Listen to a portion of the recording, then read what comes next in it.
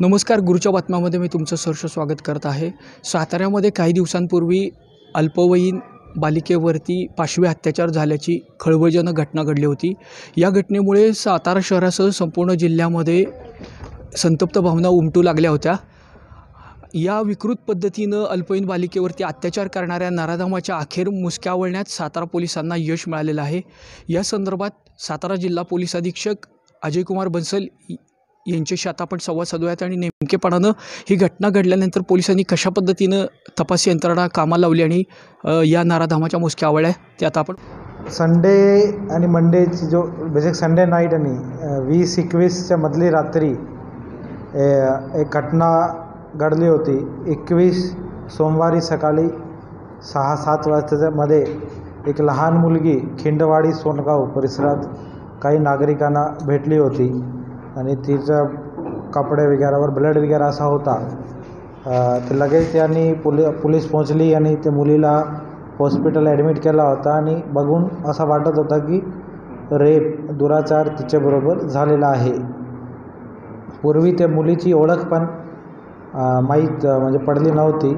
पण नंतर थोडा शोधल्यावर ती कोण आहे असा समजला.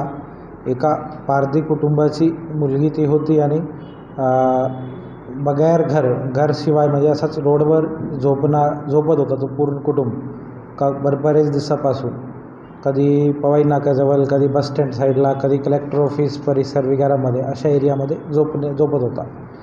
तर कोणताही क्ल्यू याच्यामध्ये नव्हता किंवा हेतू समजत नव्हता की कशाला हा झालेला आहे. याच्यामध्ये आम्ही आमचे सातारा तालुका सातारा सिटी शाहूपुरी आणि एल सी बी अशी पूर्ण फोर्स याच्यामध्ये मोबिलाईज केली. जवळपास पूर्ण शहराचे खिंडवाडी सोनगाव परिसरचे सी सी टी व्ही याच्यामध्ये खंगालले तपासले. सोबतच मोबाईल वगैरेचा पण जो काही आमची टेक्नॉलॉजी असते आणि ग्राउंडवरचे लोकांकडून पण माहिती घेतली. त्यामध्ये मंगळवारी संध्याकाळपर्यंत एका व्यक्तीपर्यंत आम्ही झिरो इन करू शकले within forty thirty six hours की हाच मुख्य सस्पेक्ट आहे. पण त्याचा जो एक सी सी टी व्ही आम्हाला फुटेज भेटला होता तो ब्लर होता क्लिअर नव्हता. आणि तो फुटेज मंगळवारी सातारा तालुका पी आयनी सर्व ग्रुपवर प्रेसचे ग्रुप्सवर पण तो पाठवला होता व्हायरल केला होता.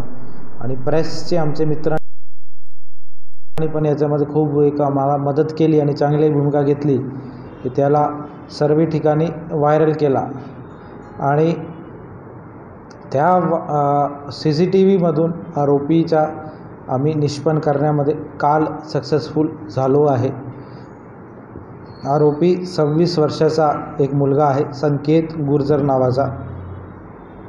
हा, तामजाईनगर शाहूपुरी इकडचा राहणारा हा व्यक्ती आहे आणि याच्यावर जुने सतरा गुन्हे दाखल आहे.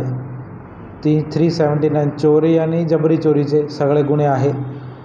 ज जुवेनाईल असताना जास्त गुन्हे याच्यावर दाखल होते आणि दोन हजार तेरा ते सोळा असे तीन वर्ष हा बाल सुधारगृह नाशिक इकडे शिक्षा पण यांनी भोगलेली आहे.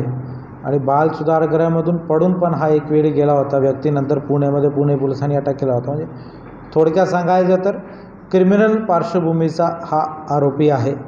आणि यांनी हा कृत्य केला हे शंभर टक्के विदाऊट एनी डाऊट आम्ही निष्पन्न झालेला आहे आमच्या तपासामध्ये.